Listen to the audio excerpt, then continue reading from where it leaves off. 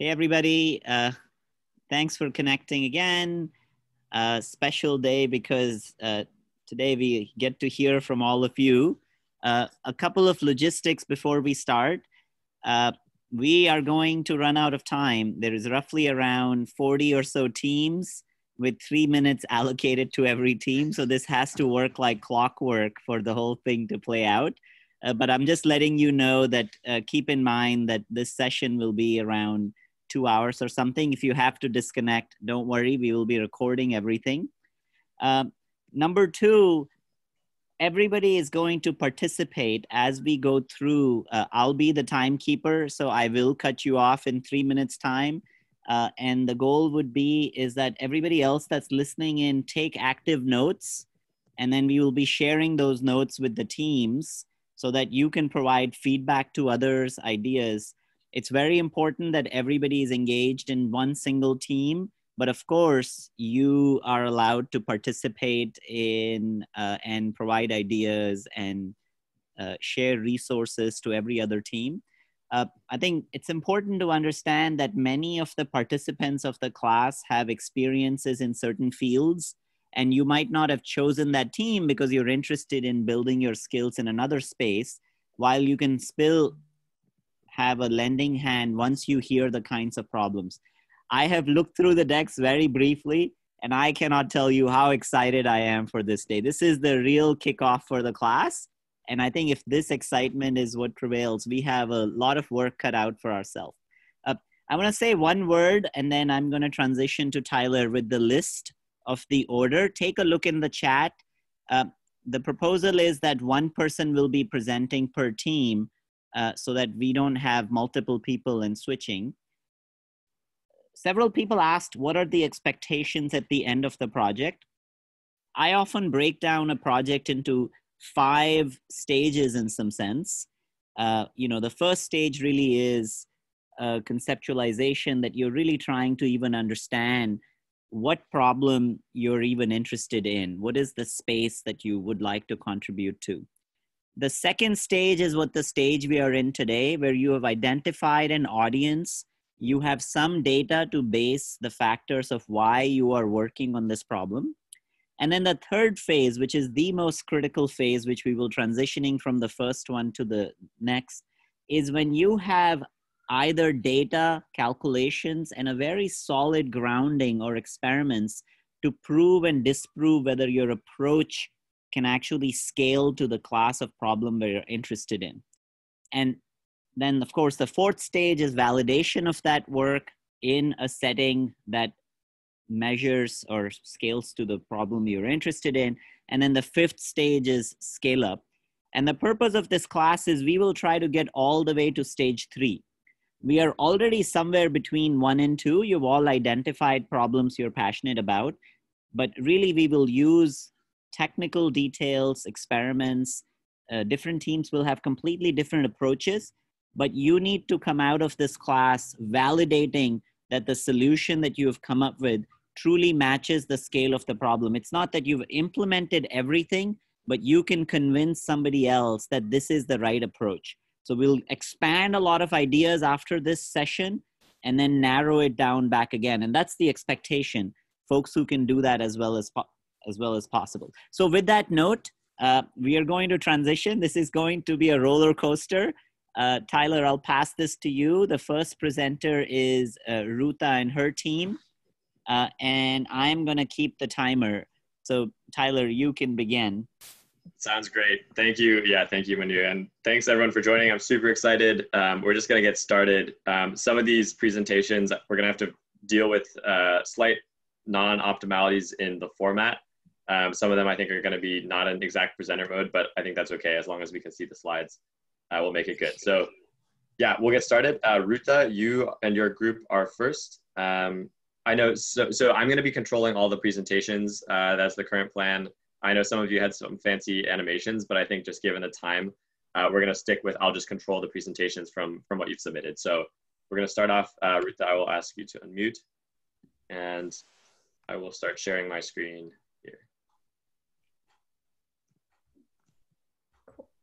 Um, yeah. Uh, hi, everyone. My name is Ruta. I'm a second year master's student at Stanford, and the project that my team and I are deciding to solve is frugal PPE sanitization. And by solve, I mean uh, gently attempt to solve because it's a really big problem.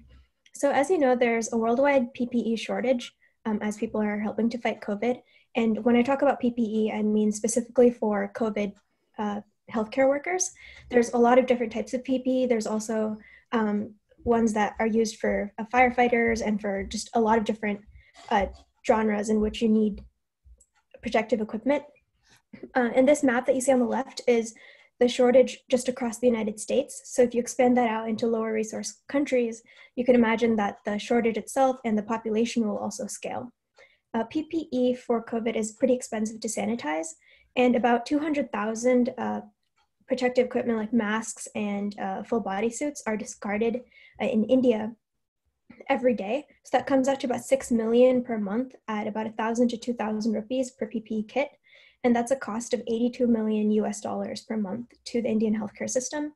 So we're trying to find a way to either sanitize them or reuse them. And you can go to the next slide, Tyler. So there are a couple of different solutions that we've been looking at on our idea board. The first is UVC decontamination, and that involves uh, using UV as uh, implied to sanitize masks.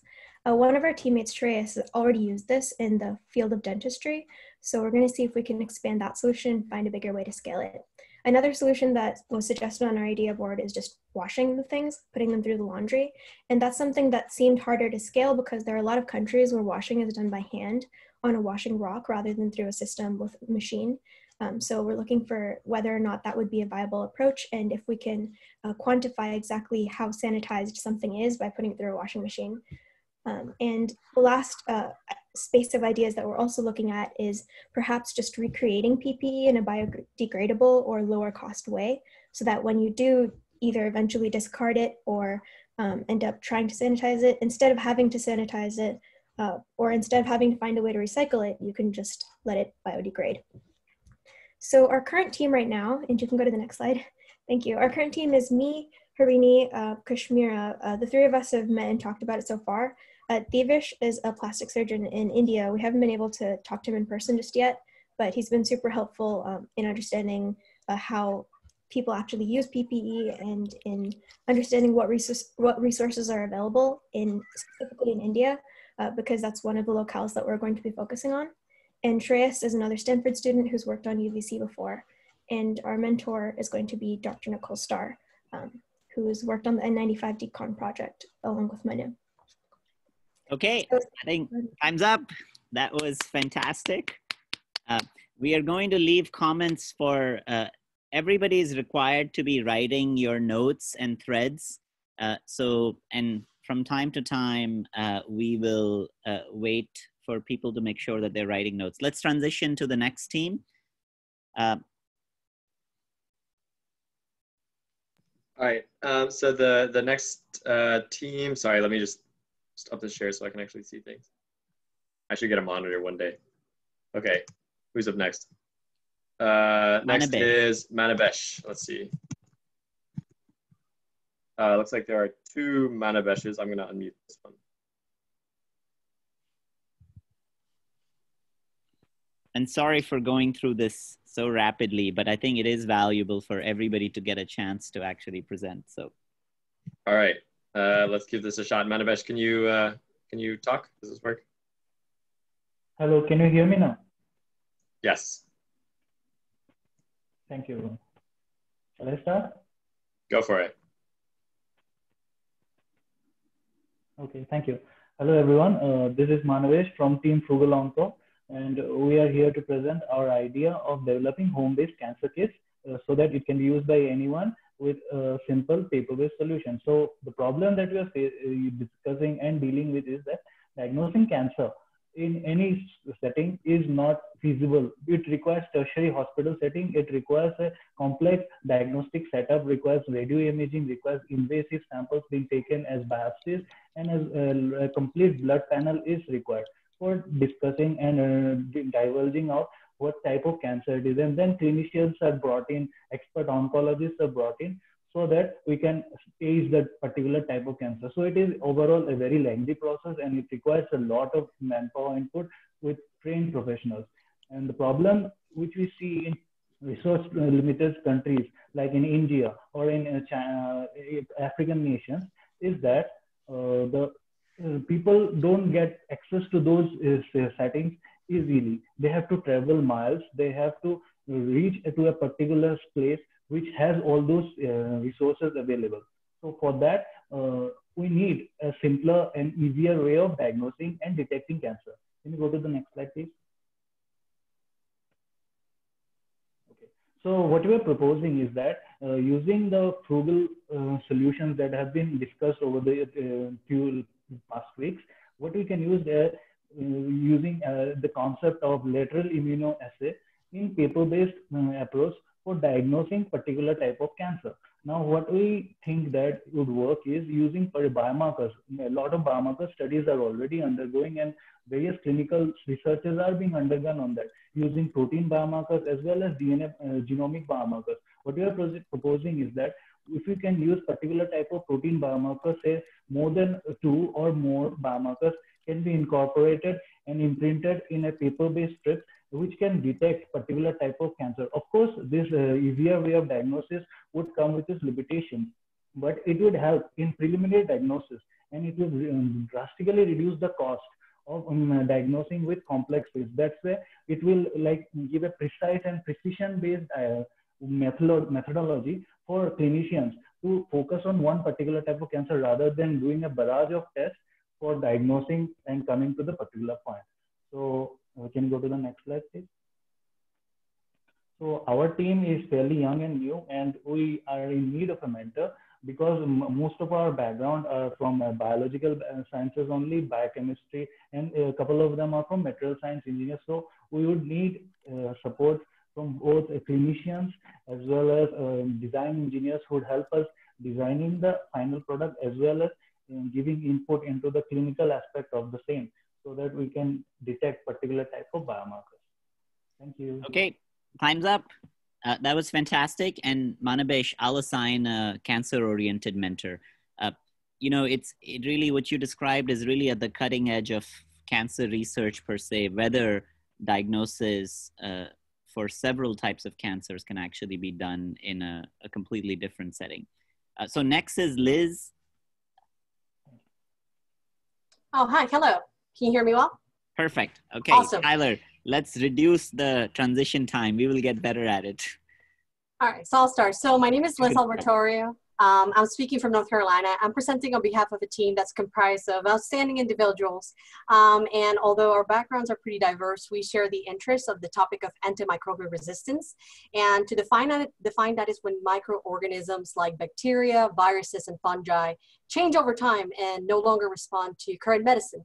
And according to the United Nations, uh, in the in the next probably 25 years, we will have 10 million human deaths that will happen each year. Um, I say humans, but it also affects um, animals as well. The causes of antimicrobial resistance are very multifactorial, um, and they include excessive usage of antimicrobials, lack of adequate policy, and a lack of the discovery of new antimicrobials.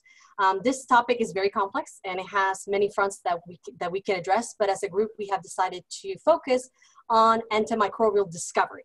There's this paradox that there's a need uh, for antimicrobials and a discovery for it, but pharmaceutical companies are not putting a lot of money on that. So one underestimated source for new antimicrobials are plants, which some of them have shown antimicrobial properties. But with over 300,000 vascular plants on Earth and an extensive traditional knowledge that um, spans a large number of cultures, we asked ourselves if there was an affordable way that we could test uh, the antimicrobial capacities of local plants anywhere in the world. Uh, slide number two. So this topic, it's kind of addressed at North Carolina State University in the laboratory of Slavko Komarnytsky. So he developed this kit that uses inexpensive materials from the lab to test antimicrobial capacity of plants. But even though it's simple, there are opportunities for improvement. Um, and in here, we show the goals that we have agreed as a team. Um, and it includes adapting the kit at different low, low resource settings, uh, crowdsourcing, diverse diverse plants, the name of them, um, and embedding this effort within science, citizen science, and school communities. Slide number three. Uh, we have divided the project into different sections, and here is a picture of the amazing team that I am part of. And each of us used our experiences and expertise to come up with the products that address the primary goal. Um, although the expertise is very diverse, we are still open to contributors and mentors who can refine our project. Um, the ideas can be instrumentation, how to adapt it to different settings and data collection. And also we are looking for ideas to see if there's something already being done um, that could provide perspective to the project. Um, thank you, and I look forward to learning from the other ideas. Fantastic, thank you so much. Manu, can you unmute the next person? Oh, do I have the power? Uh, I will make sure you have the power. I think you have the power. Okay. Amanda. So if I go in here, I think that'll be easier so I don't have to unshare yes. my screen every time. Yeah. Amanda Hi. has been unmuted. Hi. Go for it. Can you hear me well? Yes. Great, let's go. Um, so our project is all about snares. Um, so uh, for those who don't know, snares are really simple traps um, used for hunting, and they're kind of just a very simple loop that's very easy to make. And the idea is kind of if something is trapped in it and it tries to escape, the snare tightens and um, the animal is caught. Now, as a human, I can just use my fingers and kind of wheel my way out of it, but most people don't, most animals don't have opposable thumbs. So it turns out snares are super, super gruesome. I was thinking of including Chris. I really didn't want to shock anyone. If you're, you know, have the stomach, go online, check it out. It's, it's a horrible way uh, to catch animals. Um, and if they survive it, they're often very crippled. And we just put up some statistics there. Um, and originally, when uh, Kishore put this on the idea board, he was particularly interested in um, snares that are used for illegal wildlife poaching, um, and uh, particularly how we find those snares because they're very well hidden. They're just used by they're made by wires um, that are really hard to spot. Um, so that was kind of our starting point. But looking into it, um, it, we realized that snares are a problem all over the world. In some places they're legal, in some places they're illegal. There's like some rules about how are we supposed to use them. But I think anyone can, anyone who cares about animal welfare even a little bit, can tell that they really shouldn't be used at all. So um, if you go to the next slide, um, so we kind of uh, tried to look in bit into like uh, why people set snares, and it turns out that it goes far beyond just um, poachers. Uh, people use them for hunting because they are hungry. There's we found a discussion board where scientists uh, a conservationist told a story where they had massive problems with illegal snaring in an area with protected species. And the way they uh, solved that problem was that they um, gave out food for people who returned snares and they got rid of all the wire in the area and suddenly no one could make snares anymore. Um, so it's, it's, a very diverse problem. In the UK, there's a massive problem with snares because people use them for, to hunt foxes. It's just it's very diverse. So we've been thinking about maybe um, not just focusing on the illegal wildlife poaching, but just generally thinking, can we make a dent in the problem of snares worldwide? Um, and yeah, so the, the, the, main thing is the detection of snares. So we had a bit of a look at, uh, there's been some studies, uh, conception studies about using ground penetrating radar. So we were thinking, could we put those on drones? How, um, like how, how would that work in different terrains? Um, stuff like that. Um, there's dogs on there. I found a dog trainer who claims they have trained dogs to find um, snares. So I was thinking of maybe interviewing them, seeing what principle they're even using. This, I don't know. Um, so that's kind of why that why there's like questions there. Uh, it's a very big problem, and we're not actually sure where we're going to end up contrib- contributing to it. Um, yeah. All right, 10 seconds. uh, I'm Amanda. I'm based in the UK. Kishore is the guy who made the uh, thing on the idea board. He's based in India. Please let us know if there's anyone we should reach out to because we're newbies. Oh yeah, we come awesome. from engineering. It's Our background. Sweet. Thank you so much, Amanda. Uh, we already did this one, and I think we're on paleontology now. Uh, Manu, I think we need to skip one one presenter who I think already went, and then we go on to the next.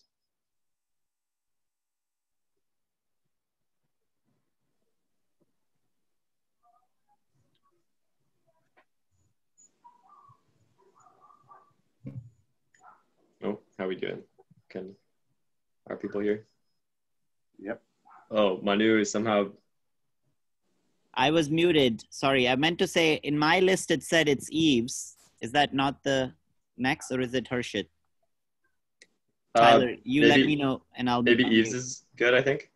Eves. Okay. Hello, everyone. Can you hear me?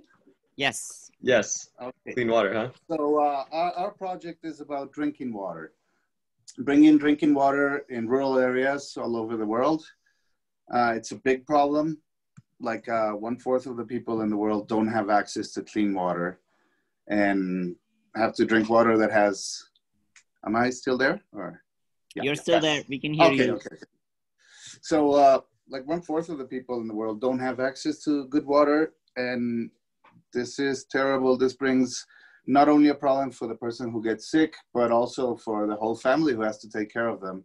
So, in terms of economy, in terms of health, in terms of pollution, also, because of course, all the places that have to drink bottled water, all these bottles are going somewhere also. So, it's something that attacks many, many different problems. Uh, say in uh, the WHO, WHO says there's uh, 780 million people who lack basic drinking water. And, uh, you know, there's 485,000 people die each year from diarrhea, which is, I mean, we shouldn't be at this point anymore. And there's so many ways to treat water.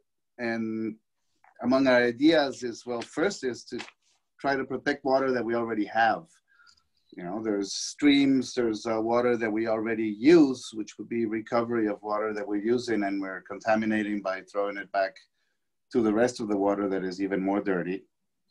Uh, so recycling would be another issue. And then there is capturing water that's, you know, available that like rain and fog. There's some pretty interesting uh, ideas about fog capturing nowadays. And getting to the final step, which is really filtration and sterilization of water. So what we're trying to do is figure out a way, well, to recycle it. We're, we're thinking about doing ponds.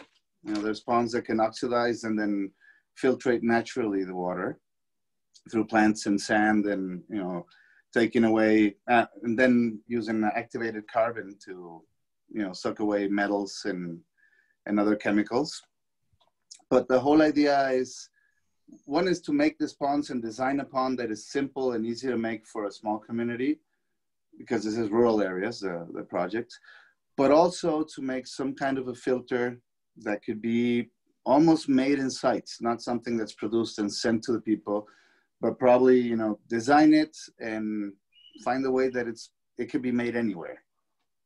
Uh, we found something really interesting that they're using wood. Uh, you know, uh, pieces of, of uh, conifers yeah. that have very, Tyler, very. Can you go to the next slide? Yeah. Yeah, thank you. Uh, that wood that has very, very small cells that won't let pass uh, bacteria. It will let, let pass viruses. So we got to figure out a way to stop viruses. But uh, we read a really interesting paper uh, from, I think it was MIT, that, that explained about this wood and the water going through it. And you know, particles getting caught in the first two millimeters of the wood. The only main problem there is that it has to be freshly cut wood. It can't be dry. So it's not easy to produce and send to the places. So it'll only work in places where they have access to conifers. Okay, we're out of time. That's okay, thank fantastic. you. uh, let's switch to next is Harshit. And Harshit, you're already mute, unmuted, so you can start presenting.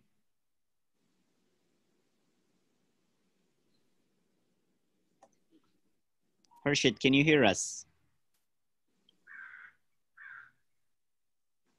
Harshit, can you hear us? Uh, okay, I. Yeah, hello. Yeah, okay. now I can. Now I can. Yeah.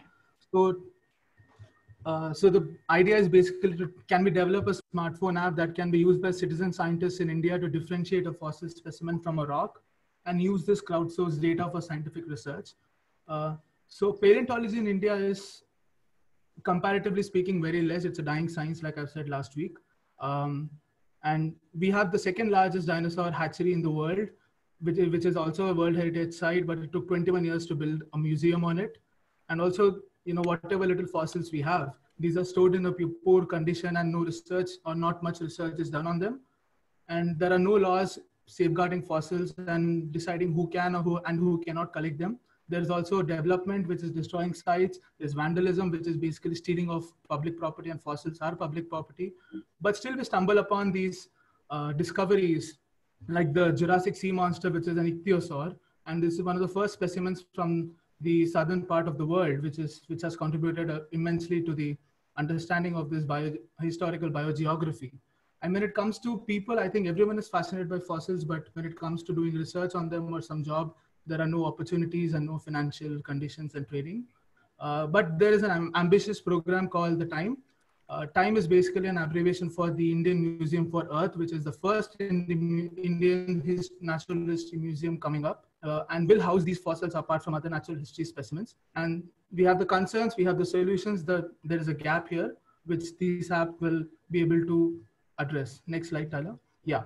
So this is the basic game plan, and that is, this is a different slide. Okay, fine. So we use a smartphone. Uh, so it's like any other citizen science platform where you use a smartphone for taking photos and then freely, and you can have an app which you can freely download and you can have a you can register make an account have a have your own page where the contributions are there. And then you can have data entry where you have to pr produce when you, where you have to enter some data which is basically just the gps location the date of discovery your name and also uh, photos. Again there's a compulsion here that you should take photos with scale reference and from various angles and send them as one entry so that we can have a good picture of the fossil. The peer review part is a third step which will uh, make the data which we collect very much scientifically reliable and also potentially fuel the policy and law enforcement in India regarding fossil conservation. And after verification, these can be these observations can be uploaded on the website and sorted through a computer algorithm and presented. And also the contributor can be given credits and uh, a confirmation email and the geodata point submitted can be uploaded in the map. Uh, hey, another and we are out of time. Do you want to, Harshit, just say a word about your team? Who all is in I'm the team?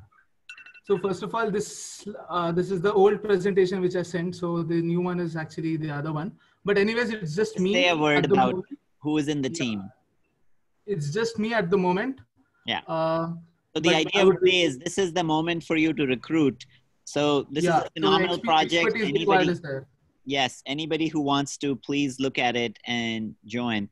So Harshit, we have to move, keep moving. The next individual yeah. is SRP 8759. I don't know who the person ID is, so I can't unmute unless you tell me, Tyler. Do we know what the name of the individual is? Unfortunately, I do not know who the name is. Okay. Uh, yeah, maybe in chat if someone, uh, if that's yeah, you. I already pinged people I haven't heard. So okay, I we'll think... skip for now, and then we'll go uh, to that one later. Okay, let's start with Kaustubh.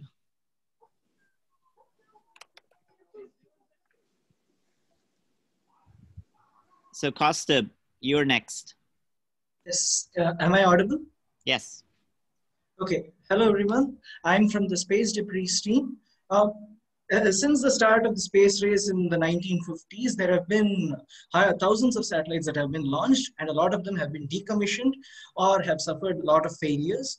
Due to these, uh, due to these successive failures, we are actually having a lot of space debris and space junk that are in orbit.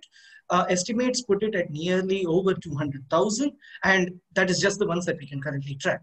In fact, we actually do not have a proper count on how much space debris is actually present. The problem right now, uh, the question that can come uh, at this point is why should we worry about space debris? They are they are thousands, hundreds of kilometers above us, and they are not directly affecting us. The problem here is uh, whenever we try to uh, launch satellites or whenever we have satellites currently in orbit, space debris can have the very real danger of crashing into any one of these satellites and causing millions of dollars of worth of damages. Not just, not just that, the space debris also have very, very high orbital velocities. As a result, they can cause quite, uh, quite severe damage to even the best designed satellites. And uh, on an average, most of the current satellites uh, are forced to do orbital adjustments to avoid space debris that come even a few kilometers in proximity to the satellite. Now, as you can see in the infographic on screen, there are three categories of space debris, and what we are focusing on are the low Earth orbit ones. Um, next slide, please. So um, given that space debris are a significant problem that, can, that have the potential to cost hundreds of millions of dollars and have already costed a lot of money, it makes sense for us to address it before the uh, uh, feared Kessler syndrome takes over and we get too many debris. So the current solutions include burning up or uh, saving fuel in the stages of the rocket so that we can deorbit it once the mission is over. There have also been attempts to use a net to capture all the debris, but the drag sail did not deploy. There are also other strategies that include harpooning them using high-powered lasers, but none of these are exactly frugal or scalable given the problem that we are currently facing. So what we pr propose is to first create a comprehensive map of the space debris available. And for that, we wish to deploy the power of citizen science. Uh, for that, we have already discussed several approaches like the ones you see on the screen that includes in, uh, scaling up of space imagery capture, uh, inspired by Operation Moonshot. Thanks, thanks Manu for that. Then high volume imagery analysis and image stacking to increase the resolution to super level, uh, hyper levels. And then using uh, models of the atmosphere to see if we can find places within the atmosphere where these debris congregate. Uh, the inspiration taken from the Great Pacific Plastic Patch, since we have ideas that there are streams which can uh, uh, cause these to accumulate. So once we get an idea of these, we'll be able to design more targeted solutions to take out a lot of space debris in a single go, rather than having to deal with each debris individually. So uh, next slide, please. So the current, so the current team uh, are as you see on the screen. What we do need are people who understand atmospheric science well enough to help us model the atmosphere, and also people who are experienced with orbital mechanics and propulsion systems, so that we'll be able to think about designing solutions, scalable solutions to attack the problem once we identify a map. Okay, time's up. That's fantastic. Next on my list is Arani. Uh, I'm just enjoying this so much. Uh, I have no clue of time, but I'm trying to push you guys to keep on time. So sorry about that. Um, Arani, you're next. So, am I audible? You're you audible. are. Yep. So, hello everyone. I'm representing the non-plastic syringes group, and I'll be talking about the dangers and damages that plastic syringes and metal needles are causing worldwide and in various ecosystems. So, we all know that plastic syringes are actually very, very cheap and are widely available everywhere the World Health Organization estimates that around 16 billion injections are administered worldwide, with a vast majority, that is around 90%, being used for curative care. Immunizations account for around 5%, and the remaining covers other indications, including transfusion of blood or other injectable contraceptives, etc. A majority of these syringes are actually produced for single use, but in lower, uh, lower and middle income interest uh, countries, there has been repeated cases of reuse of these syringes, which has contributed to diseases like hepatitis B, hepatitis C, or HIV. Uh, these numbers can vary from like 0.1% in the developed countries to around 75% in some countries in Southeast Asia, like Bhutan, India, Bangladesh, the Maldives, or Korea. Uh, not only reuse is dangerous, but also improper disposal is a huge threat. And these can be uh, causing biohazards or as sharps wastes, which end up in accounting for at least 2 million needle stick injuries in healthcare workers. So, and there is also a recent case of syringe pollution, which has been occurring due to recreational drug activities and syringes being disposed anywhere. And uh, these syringes, they end up in terrestrial landfills in oceans or in beaches or in water bodies, and they finally contribute to even an increase in microplastics in the ocean systems, and that finally end up entering the food chain. And we can only expect these scenarios to turn worse after this recent pandemic. So moving on to slide two. Yeah. Uh, so uh, can we do nothing? Uh, from our literature survey, we did see that we can do something like by changing the syringe material or by changing the syringe design. So improvisations would include making the material more biodegradable or by using materials that can be recycled more times and won't pose a risk of disease contamination. And uh, making improvisations in design would include needle-free techniques and dissolvable microneedles that won't contribute to sharps waste. However, both material and design innovations must remember to take uh, use, make use of present technologies that are widely available so that these uh, syringes are frugal and can be manufactured anywhere. Uh, also, uh, altogether, this is a problem of changing both materials and design while we optimize the cost to, bear, uh, to beat an already frugal system that is wreaking havoc on the planet. Mm -hmm. And moving on, uh, this is our team. Yep. And we, we would actually need mentors who have some experience in material science or in frugal manufacturing or prototyping. So that would help save the world from a plastic disaster. Yeah. Thank you. Uh, so time's up, and then I'll connect uh, the team to actually the inventor of uh, needle-free uh, injections. So you kind of see the perspective of how one frugal solution causes another class of problems. I think just beautiful example here. Uh, okay, next is Benjamin. I am just unmuting you. Okay, can you hear me? Perfect. All yours, okay. Hey, I'm I'm Benny from Israel, and I'll be representing the uh, frugal um, detection uh, infection detection team and we'll be dealing with how can health practitioners rapidly differentiate between viral and bacterial infections in a resource constrained environment as uh, there is uh, Eves, you want to mute yourself. Okay, I did. Death rates are higher there. Um, early uh, diagnostic and treatment of uh, antibiotics is uh, very important as it uh, decreases mortality uh, significantly and also cost, uh, cuts costs of hospitalization. Um, point of care uh, diagnostic tests are very important for this issue as they allow rapid diagnostics and uh, a treatment that is uh, rapidly available and uh, useful. Um, antimicrobial resistance is a major risk as it gives rise to um, um, resistant bacterial strains that would be um, resistant to uh, usual antibiotics and require use of uh, more toxic drugs. And sometimes they are completely resistant. And due to the lack of uh, low cost diagnostics, health practitioners in these uh, resource constrained environments are uh, forced to prescribe antibiotics. Um, uh, and even when they do not know the infectious agent, uh, therefore, rapid, easy to use and inexpensive diagnosis should be applied in order to ensure the sustainability of antibiotics in the long run. Uh, next slide, please, Tyler. Um, currently, we're still uh, brainstorming for uh, solutions, but here are some we found uh, very interesting.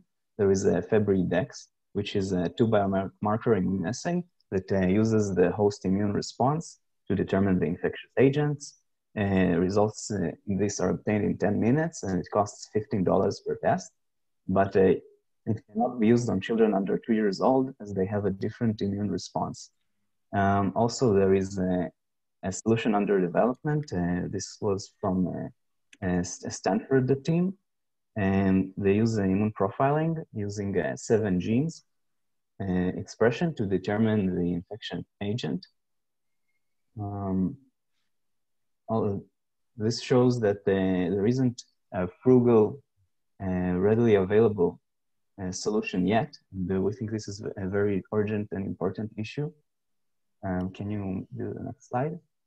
Uh, our team is uh, still new. We haven't uh, met everyone, but uh, uh, we're looking for a mentor. And so we would love some uh, help in that. this is a picture of a child in Niger part of a study that involved the use of antibiotics, and it showed a reduction of 30% in mortality rate by applying antibiotics. So it. time's up, Benny. That's fantastic. And then I think for all the folks that are looking for mentors, I'll I'll connect those links already, both not just in our current panel of mentors, but also from outside as well. Uh, next, we have Deborah Schmidt, so Deborah, I am. Uh, yes, okay, Deborah, can perfect. We can hear you. Awesome. Hi, I'm Deborah. I'm a research software engineer from Dresden in Germany, and I'm talking on behalf of my group called FUGLU, which is short for Frugal Glucose Testing. Next slide, please. Uh, next slide, yeah. Um, so um, our audience are people living with diabetes and they all have in common that they have a problem keeping their blood glucose levels in a healthy range. And if you don't do that, you can either die or your organs might suffer long-term damage. And um, we thought about an extended problem space, for example, designing an open source pump. They are super expensive or lowering the cost of insulin. But what we focus on for now is um, glucose measurement because information is really the basis of any treatment. And if you have, for example, a continuous monitor device, as I have on my arm here, you get a nice curve as you see on the top here, you know exactly what's happening know when you're eating, when you're active, or when you're nervous about giving a talk. You see all of that. but if you use test strips, as um, most people do, you only get a couple of values a day. You see that in the graph below, and you're missing out on so much information. And if you imagine the test strip is, uh, some people from our group reported about one dollar it's a strip, that can be um, six dollars a day, and that's already lots of money for many people. And this is why we want to lower the cost of repeated glucose level measurements. Next slide, please.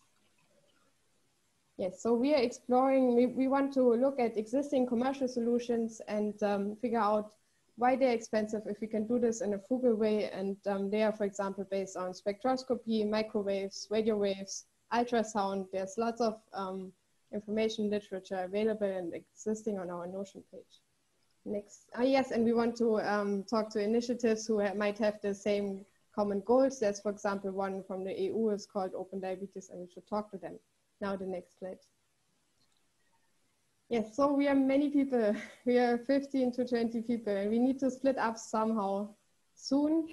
Um, so, and that's also why I want to mention if any of the mentors are interested in something from the extended problem space, for example, the open source pump, we could also split up in this way.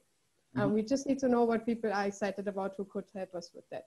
Um, yeah. We bring a wide range of um, really exciting expertise that fits the problem.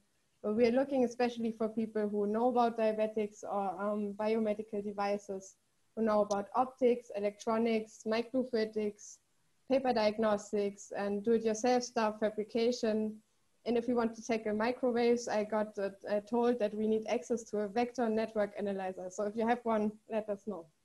Mm -hmm. Thank you. Um, awesome. since there is 10 seconds still left, one comment I was going to make, it's perfectly okay. You have really gathered as a team around a problem. And this is large enough a problem that we will be able to break that into chunks that there is certain connections between the teams. But at that same time, there are sub problems that are tackling but it's perfectly okay for the entire team to really act as a cohesive unit.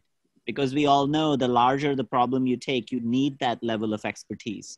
So this is a fantastic thread uh, it's next, a bit difficult to engage with everyone when there are so many people. That's why we will break them into subgroups while once a while you will all come together and update each other. Yeah that's a great plan. Thank you. Next is Floor Hola. All yours, Floor. Floor is yours. so since the beginning of the pandemic, inequalities of the have become more visible.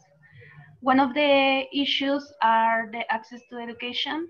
The most affected are always the minorities without access to privilege, such as people who have an internet or even who hasn't access to school right now such as native population in a situation of poverty, people with low resources that are even with um, the government implement uh, cannot have access to this education because um, there's a lot of issues. So even there's population who haven't uh, electric services. So in Mexico, since 1920, the free text program for basic education was implemented, trying to reach the entire Mexican population. Um, however, four of five people live in poverty. This is not the only country who has this problem. So this problem increased in places that have not taken in count. For example, here in Oaxaca, we have 570 municipalities And in this state, we are we have seven ethnic groups. 16 of them are originals. 12 languages are spoken. On 11 languages are native, and most of the te textbooks are on Spanish. So that's a really big problem. The level of schooling is on low course. Some only finish elementary school. So how do you explain what is happening in the world right now? So the science education and science communication share some common, common objectives, including seeking to educate, entertaining, stimulate, sustain, and further critical engagement of the young minds and around science. In the context of engagement of our audience with science, sharing knowledge is always, uh, there's always a way that interested this as a key element of science communications. Some of these probably our approach of approaching science curiosity includes science, communication as a dialogue with the public, expressing scientific knowledge and pictograph manner of using the language of cartoons that appeal the process of the audience. Like we are trying to move to make our scientific scientific facts that wave in the form of stories are facts rapid emotions to nurture engagement with science and visual storytelling to help connect abstract or complex sciences info the audience. This is why through the designs and implementation of Gramify, we try to include and satisfy these needs. So my next question is who wants to join? uh, so time's up. Uh, and I think this is a perfect way for teams to actually also uh, recruit. Uh, there is a chat for you, Floor. You should look at the link that was just listed there. Next is Evelyn May. Uh, hey, everyone. Perfect. Evelyn, all you. Awesome. Um, good morning, good afternoon, good evening, everyone. Um, we are team negotiation villain. And the problem we want to address that is, according to a study, 61% of people in the US left money on the table without negotiating their job offer. And it, it is also found that female are much less likely to negotiate their salaries than male. Uh, it's 45% versus 68%. And for many of them, that could be um, the first job that they get in their life. And that, that extra uh, 1,000 bucks could have meant a new bookshelf or uh, several nutritious meals or, pro- or, or uh, maybe even a movie night for the family. So why do they leave money on the table? And there are also many other occasions in their lives where negotiation skills are needed for example, buying a used car from a car dealer, getting a lower rent from a landlord. So good negotiation skills help them save money. However, the existing negotiation trainings are mainly tailored to corporate professionals in the context of sales and partnerships. Um, and personal negotiation coaches do exist, although very few, um, but it's very expensive the lowest rate that I could find was uh, $99 per hours, uh, which is insanely expensive for those who need them the most. So the question here is how can we uh, democratize negotiation skills and make this life-saving education available to everyone? And this is our solution. Proposed solution is a virtual negotiation uh, agent um, as a chatbot. And it will create a gamified learning experience to the user.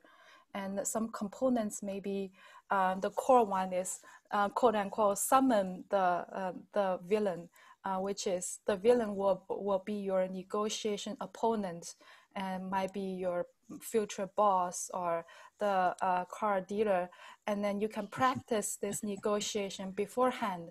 Um, practice several um, strategies uh, several rounds of them and then uh, have like that kind of uh, uh, mental preparation and experience before going into a real negotiation. And the technology piece here uh, is um, uh, first of all, Google Dialogflow as the infrastructure, and then we will use the state-of-the-art natural language processing um, uh, tool, which is GPT-3 that's recently launched by OpenAI. And then the, um, the uh, front-end channel will be uh, WhatsApp. WhatsApp. And then the team. So this is the current team. Well, up to today, there are actually four, four of us. One of them just dropped off. So uh, we need uh, not only computer science programming kind of background, but also general design. So uh, conversation design, um, um, user experience design, and graphic design. Any uh, experience is welcome. So time's up. So that was fantastic. A very unusual solution to a very important problem. Uh, next is Ben Ginsley.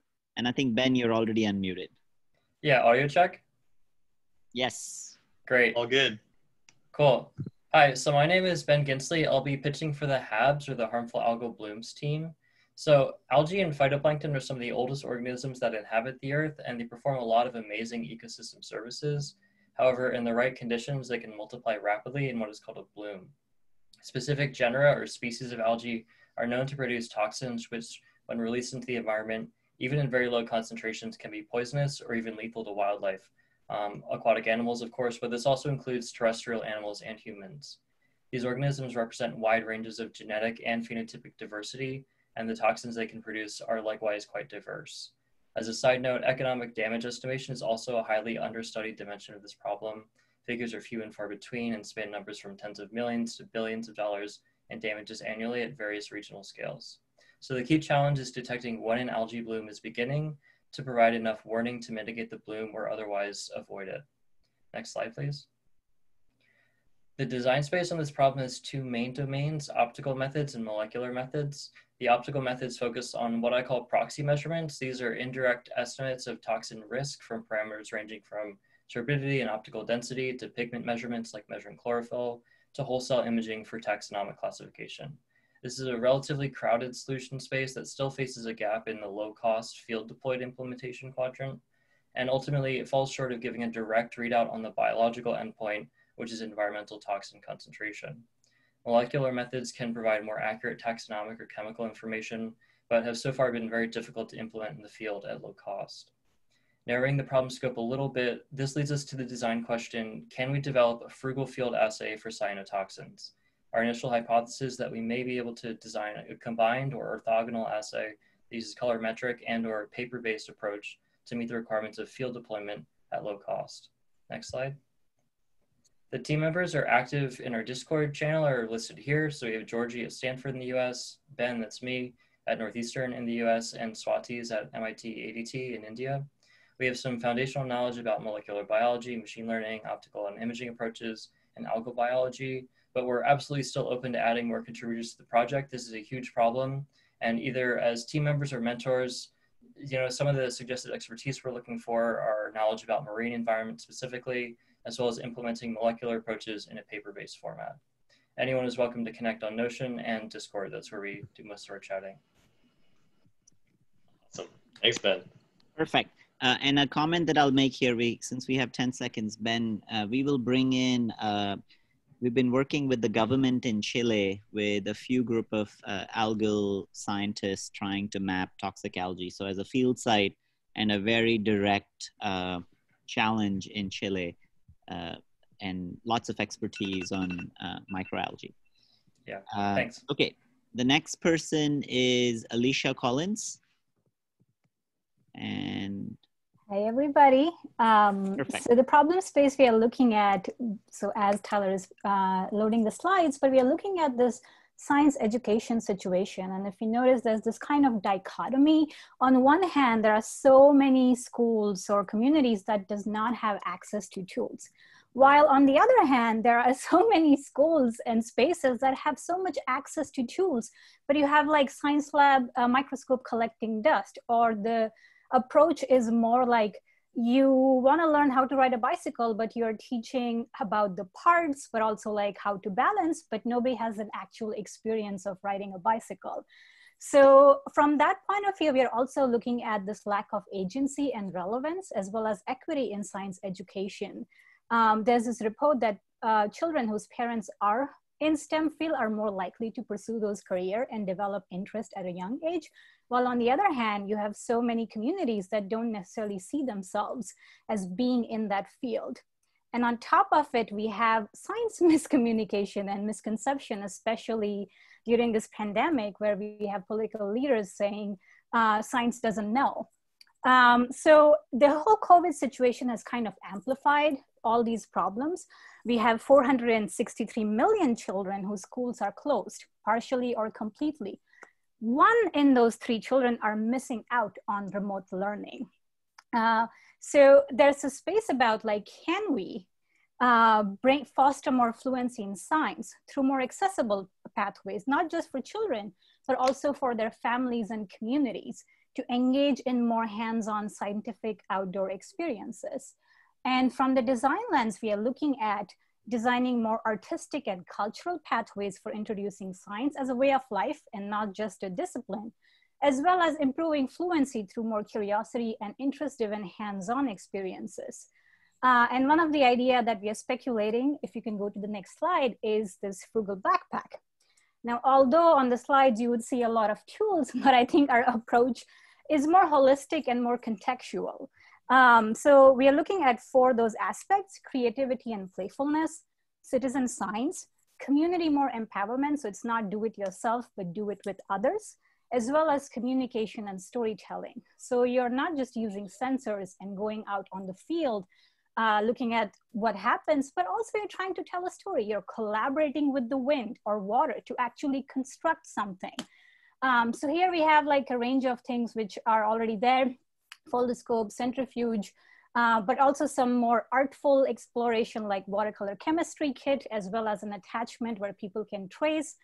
Um, but if you just like deploy the backpack, that's not enough. So we are trying to see how we can continue this exploration by bringing more comic book periodicals that can go in the newspapers, but also more like radio shows or podcasts that can reach to people who do not have uh, smartphones uh, but also speculating if there's a possibility to have more community.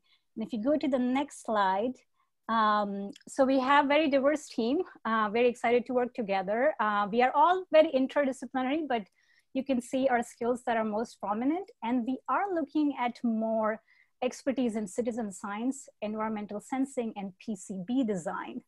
Um, especially for one of the product that we're looking at sound waves from more inanimate objects in nature and how to collect that.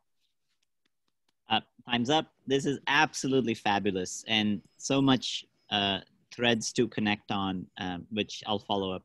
Uh, next is Ajay uh, Subramanian. I'm gonna try to unmute. Hello. I just could just listen to all of you for days almost. This is so much fun. I wish we had more time. Okay, Ajay, all yours. Awesome. Uh, hi, everyone. I'm Ajay. I'm speaking on behalf of our team um, who's trying to answer the question outlined above here, which is how can we improve access to treatment and diagnosis of epilepsy? Um, I have a few, a few quick facts about epilepsy, which is one of the most common neurological disorders in the world um, and most common as well globally. And nearly 80% of people with epilepsy live in low and middle income countries, and three quarters of those people don't get the treatment that they need.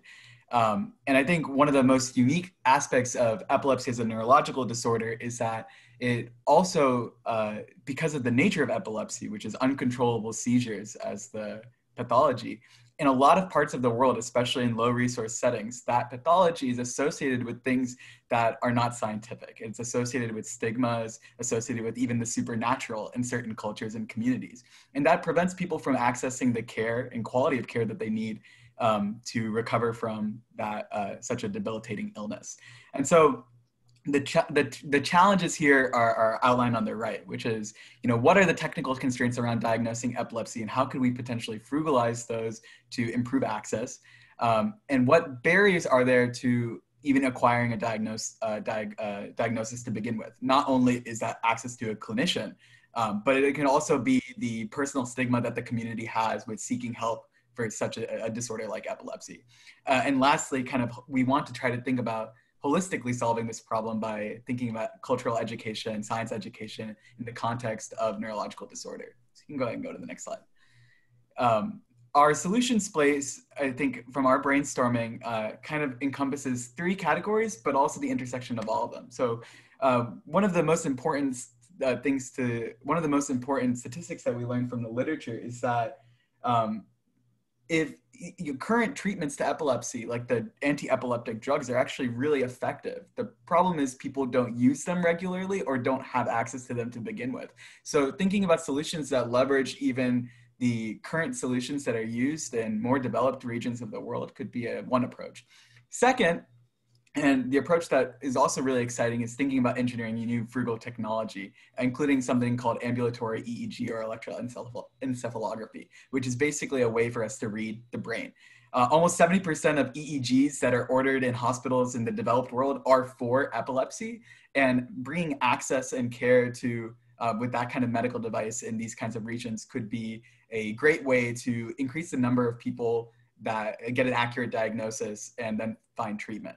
And then lastly, as I was hinting to earlier, is adjusting the non-technical strategies for epilepsy care, things like neuropsychological exams, evaluations, and surveys, and kind of adjusting them to be culturally competent and take into account the stigmas that may occur in these sorts of um, communities. And the overlap of all of these uh, is also something we're exploring. In fact, and you know, one really exciting idea is thinking about musical neurotherapy, which is something we came across in our literature search, which could integrate the culture of a place and their music into the way they seek care, and could maybe provide a route to destigmatization. Um, but in, yeah, you can go to the next slide. Overall, we're looking for the overlap of all four of these categories together to provide a new holistic paradigm for treating epilepsy. Our current team is here, Abhishek, Vani, Cecilia, Ceci, and myself. Um, and uh, we're all kind of in the neuro space, which was so interesting when we met each other. And so when we are, we are really looking for partners and mentors that have access to, that have uh, understanding of the patient care that, that goes into treating people with epilepsy, thinking th uh, people with expertise on bringing frugal technology to a new community and understanding destigmatization, especially around um, epilepsy, neurological disorders, and mental health stigma. Yeah. Awesome. Time's up. Uh, and I think one of the things we will do is connect uh, with a mentor uh, in a low income setting as well, because that sets the challenge very clearly. Fantastic. Uh, next, we have Archana. And uh, okay, Archana. Uh, yeah, hello. Am I audible? Yes. Yeah. So I'm gonna start with the little story. Um, so there is a story of village far, far away from the modern world and from the technology. There are children and they are employed. Some from very young age, like two years old. They work. Their work is to extract shiny things from rock and dust. They collect them by their hands, put them in the box, clean them, and cut and arrange them according to size and look. And finally, they give all those shiny things to the world and left with nothing. They don't even know what they are collecting. Let's just look up around you and try to find out those shiny things. Please go to the next slide. It's there in all your electronic devices, paints and coatings in cosmetics, in all our daily life products. Yeah, go back to story again. Oh, some of children are injured, some got some diseases, but don't worry, they are not going to stop working because they have to eat something at least once in a day because they have to fulfill the high demand of those shiny things and far and for that all that needed is more hand to work so that sometimes they are forced to do that finally after working whole day and collecting one kg of those shiny things they got 3 to 10 rupees. That is 4 to 14 cents. And the market price of those things is $1 to $2,000. So now children are going back to home with dust covered and keeping those shiny things inside their body. They will come back again to bring shine in our world because they don't know how school looks like. They don't know how drinking water tastes. They don't even know about their rights. So that's the story of children from the country like India, Madagascar, and Pakistan, where level cost is very low. So I hope this story already explains the problem statement. So I'm like now coming back to the possible solution. Uh, next slide, please. Yeah. So it's really complex problem and hard to come up with the one idea. But what we all have in our mind is like, can we design some fuel machinery for the mining so that that is not expensive and not automated and that can help labor to improve their collection and efficiency and working environment? And the most important thing the person who don't have any experience with technology and kind of tools can they also can easily adopt this machinery and and they at the end they get more collection and yeah so uh, please go to the next slide. So our in our team member uh, i from the applied physics and the data science background and same with the gyan and uh, Pooja, uh, she is from microbiology, uh, nanotech, and the background, and we all need to, uh, like people from the different background, like mica and mining expert, material science expert, mica mining engineering, human rights expert, healthcare. Like we need from all background, people from all background, and also the mentor. Yeah. So that's all. Thank you yeah archana i want to i want to interject and say one thing just your last 3 minutes is really just the reason we all came together. You know in the 3 minutes you summarized the why we are all here as humans thinking about this i have a tear in my eye when i think about this. And the fact that it just for such a long time we can look away just bothers all of us so much. And I can guarantee you, right in this room, in this call, is the talent we need to tackle this. And again, once we really focus, this is really the reason we're all here together. So just kudos to, I mean, not just you, every team, you're all pouring your heart into thinking about this. And it is extremely important for the diverse group of people to be thinking about this because that's really when we can't a technologist can't do this alone. Uh, a social worker can't do this alone. These are such complex problems. It just you you've just summarized why we are here together. Um, yeah, I just I, I don't know. I can't stop. I can't continue. Uh, it's you know again it really just highlights why we're all here together. Okay, sorry for that uh, break. Haim, we're next, uh, and then I'll uh, once we are going through the sets of uh, uh, feedback cycles, uh, there is a lot more number of very specific mentors that we would also bring on each one of these problems. So kind of watch out for that for this week. Uh, okay, I think Haim, I'm unmuting you now. Hello, thank you, Tyler and Manu.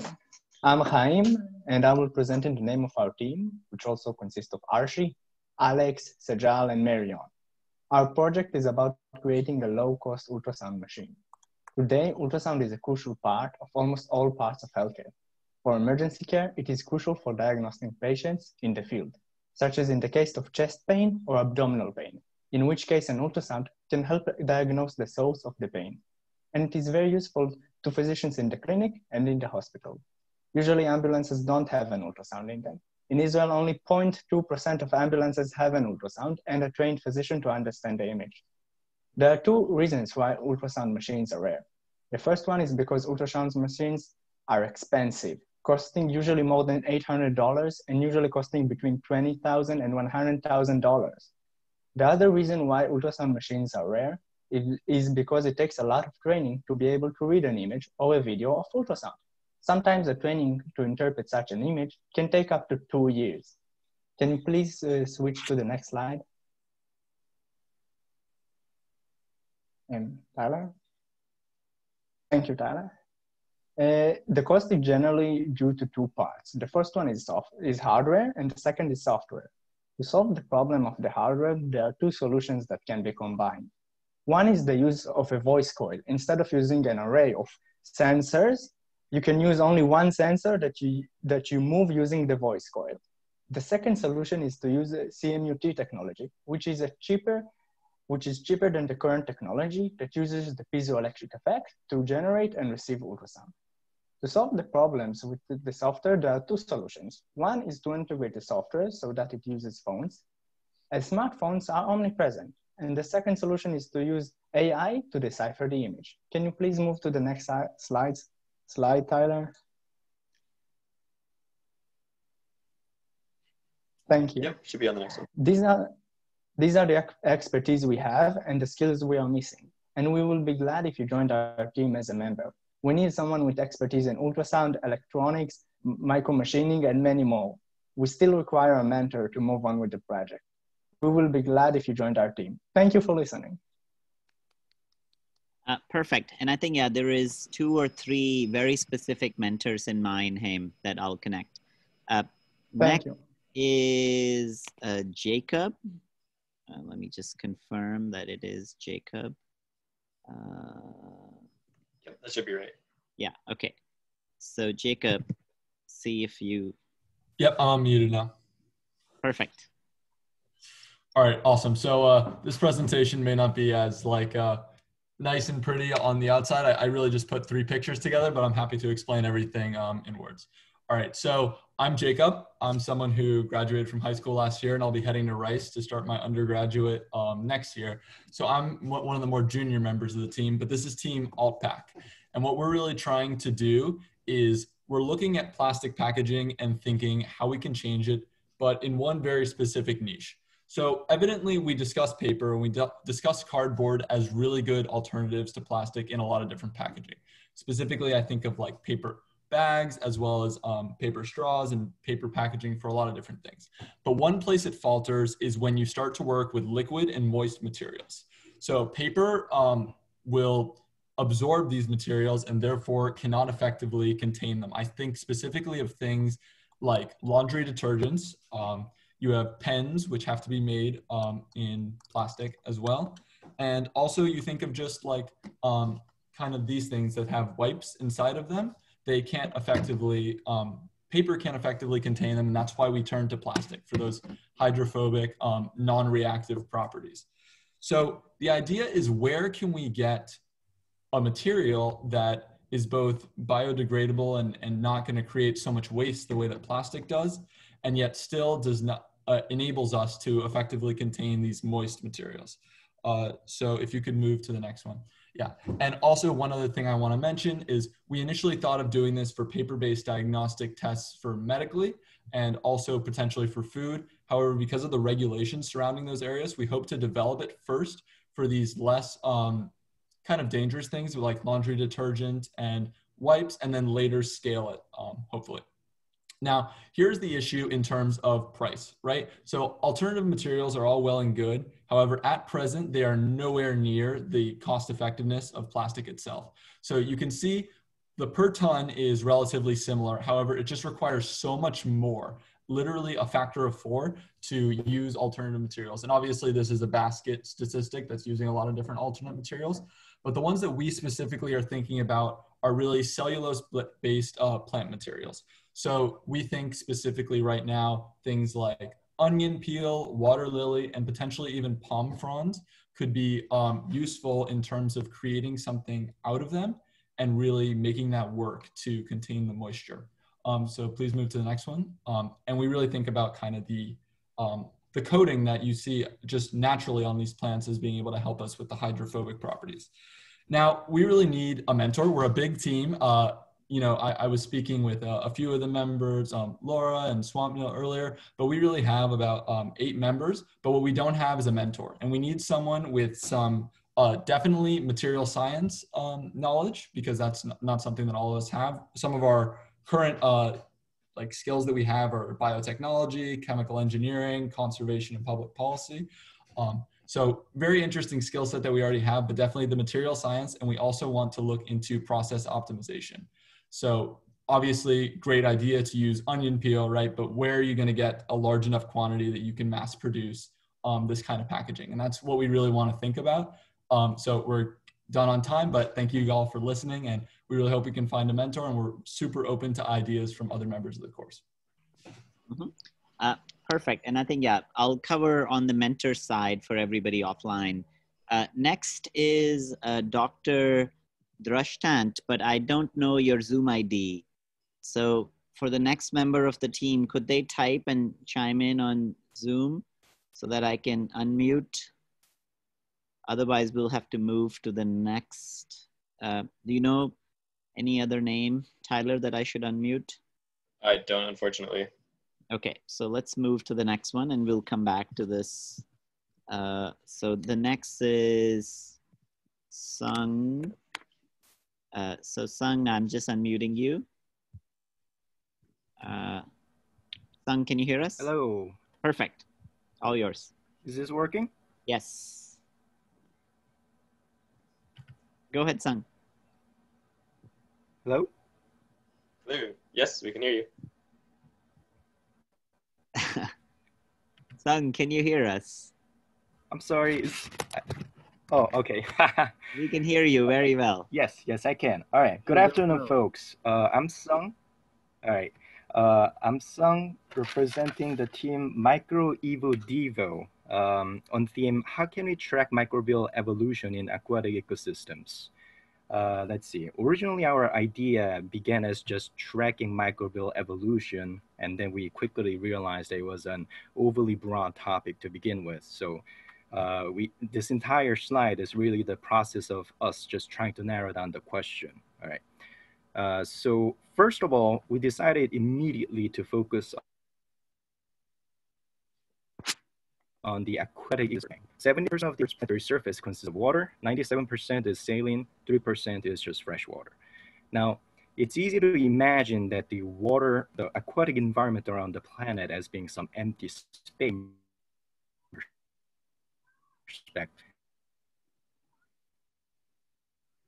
Just bacteria, other 200 million freshwater phages lie on top of each other is going to about 6 million light years long.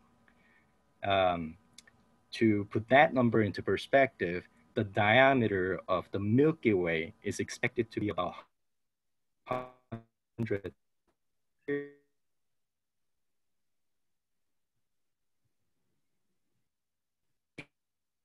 long, so very Sung, your your voice is voice is cracking, so we hear kind of half the threads. Relation of the of humanity live within three percent area. Sung, your your voice isn't coming through. Um, yeah, maybe let's do this, Tyler. And that rate is accelerating uh, the urban popular uh, global urban. I think what has happened is whatever Sung has said is now in the buffer, and the interweb is releasing that from. Uh, That's right. let's let's put that Sung. Let's put your talk in the very end to see whether. Sung, can you hear us? Okay, I'll move to Scott first, and then Sung, we'll bring you in the very end again. So can you, uh, Tyler, can you share the? Got it, yep. Okay. So next is Scott. Scott Piper. Uh, Scott, you're unmuted. Yep. And Sung, we'll get back to you in the very end.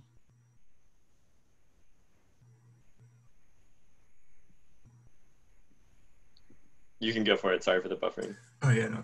Okay, so uh, we are beyond the tent, which we're focusing on improving healthcare for refugees. Uh, so to sort of frame the problem, there are 26 million refugees worldwide, and that's not including people who are internally displaced. That makes up about 1% of the world population, and about 40% of those people are children.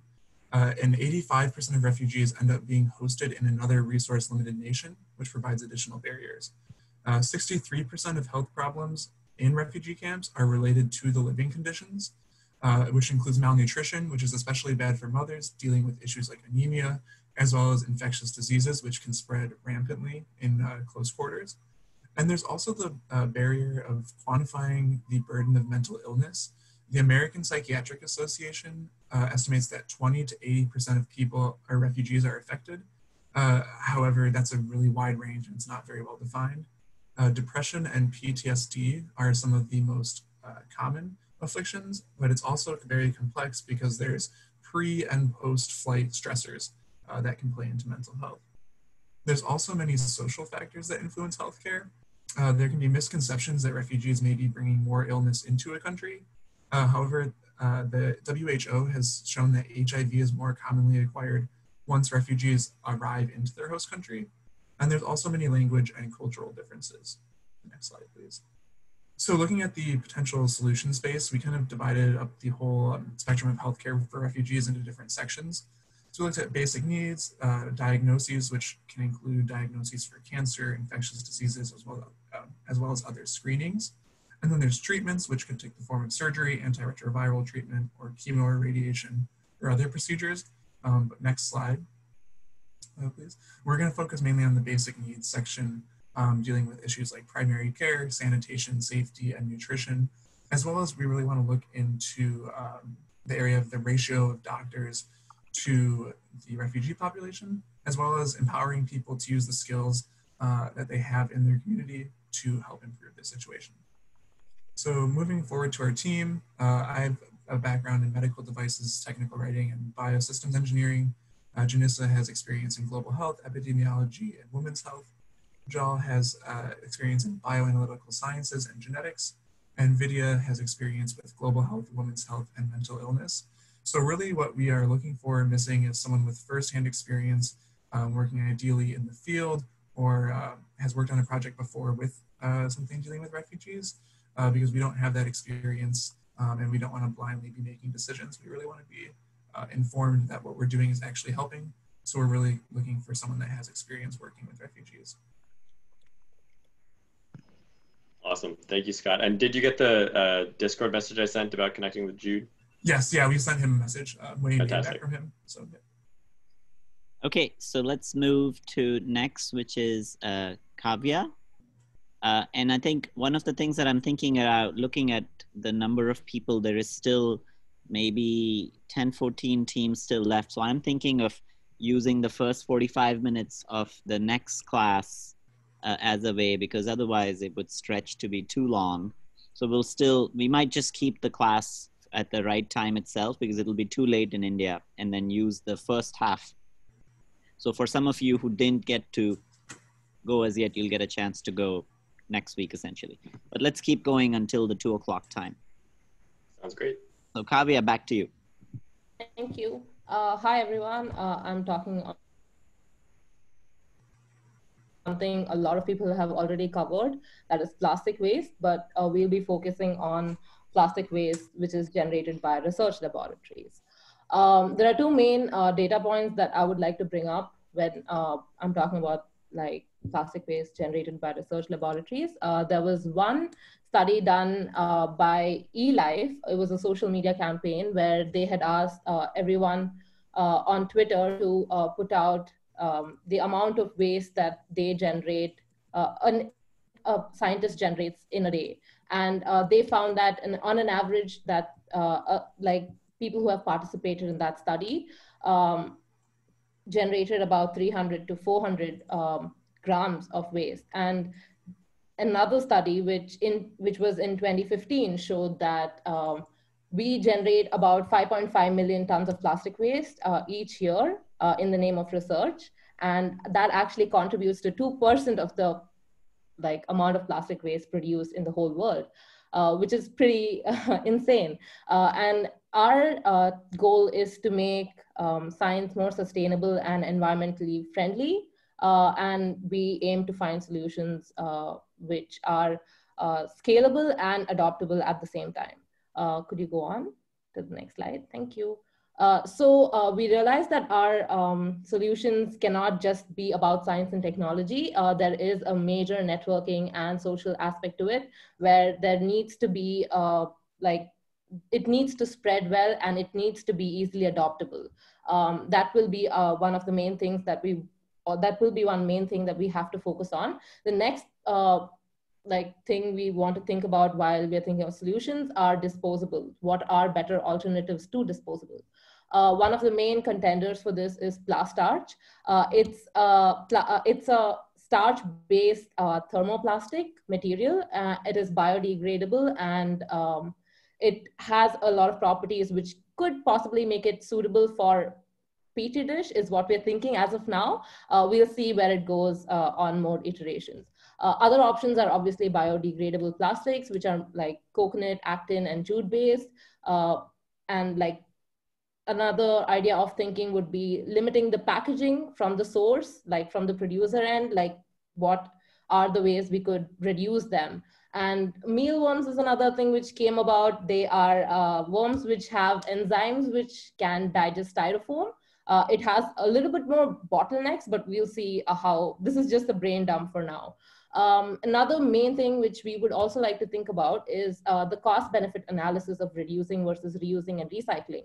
Uh, as of now, these are things which are dismissed upon uh, by saying that they could be very costly. Uh, let's just see if it is so because we don't want to just uh, end up having more materials which are produced and ignore the ones which are already existing. Um, as for our team, we mainly have like cell and um, tissue culture based people uh, who uh, work in a research uh, setting. Um, there is also a high schooler. Um, and uh, we do have a little bit of people who are uh, in the field of programming. We would want um, Antin is our mentor from Manu's lab. Uh, he has a little bit of material science experience, if I'm right. And there are other, we would like more people with good knowledge on material science and science communication is another field mm-hmm. where we are. Time's up. Uh, you, what I find special about this team is this is a team that is its own audience. So you guys probably understand the problem very well. Uh, so moving to the, probably what we'll end up doing is this is going to be the last talk and then we can spend a minute or two on just reflections and appreciate all the work that you've done. So next is Fur. Uh, and so I think there were three names in that, but uh, I'm just gonna unmute for unless I should be unmuting somebody else. Is that okay for? Sorry, let me unmute you first. Uh, ask to unmute. Ah. Hi. Oh my god. that was the biggest hi that we all heard so sorry. Floor is all yours. Okay. Uh, then, yeah, go ahead. Work together. Okay. Let's go together. Okay. Oh. Let's go together. Okay. Something's going on with. Okay, now we're good. Now it's go ahead. Uh, so we we made this uh, idea internal idea board, and I don't know to state the problem, but to gather all the things that we thought that might be a dimension of the problem. Can you please? Yeah, um, next one. Next, uh -huh. Tyler, next I slide. think you have to scroll it. Yeah. Okay. Yeah, cool. So we have this very uh, uh, big dimensions uh, on this problem is the social one, the economic one, and the health itself.